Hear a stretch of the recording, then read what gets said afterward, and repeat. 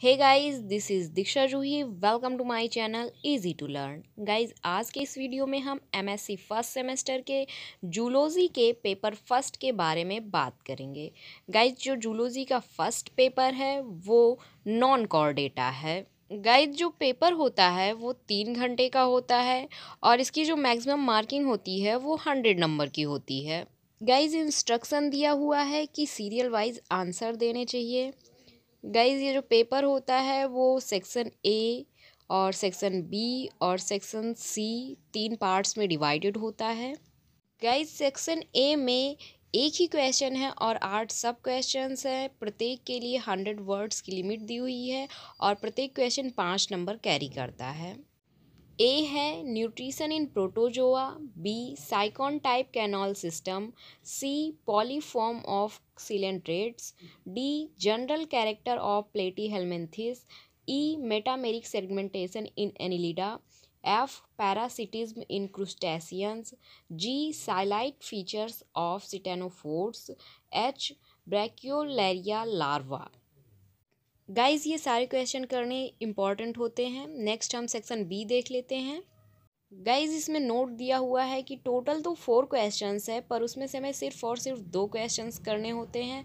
और प्रत्येक क्वेश्चंस के लिए वर्ड लिमिट तीन सौ वर्ड्स की होती है, और प्रत्येक क्वेश्चंस टेन मार्क्स कैरी करते हैं। इनमें से सिर्फ़ और सिर्फ़ दो क्वेश्चंस करने हैं। सेकेंड है explain briefly mode of nutrition in Protozoa third है describe skeleton in sponges fourth है explain adaptive radiation in polychaetes fifth है write short notes on the following जिसमें ए है मेटाजेनेसिस बी है मेटामेरिक सेगमेंटेशन तो guys next अब हम देखते हैं सेक्शन सी जो कि है लॉन्ग आंसर टाइप क्वेश्चंस इसमें नोट दिया हुआ है गाइस कि टोटल फोर क्वेश्चंस है, पर उसमें से दो ही क्वेश्चंस करने हैं और प्रत्येक क्वेश्चंस छः सौ वर्ड्स की वर्ड लिमिट रखते हैं और बीस मार्क्स प्रत्येक के लिए है। गाइस लास्ट वाले में फोर क्वेश्चंस हैं, पर उसमें से सिर्फ़ और सिर्फ़ दो ही करने हैं।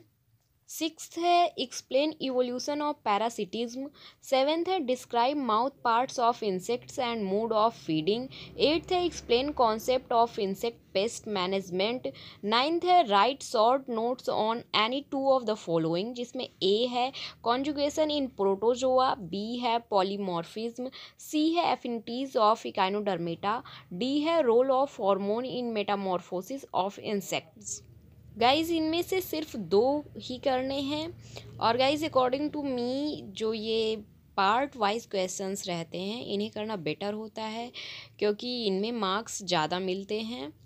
तो गाइज़ आज के वीडियो में बस इतना ही। अगर आपको वीडियो अच्छी लगी तो प्लीज़ गाइज़ वीडियो को शेयर करें और साथ ही साथ चैनल को सब्सक्राइब करना ना भूलें। Thank you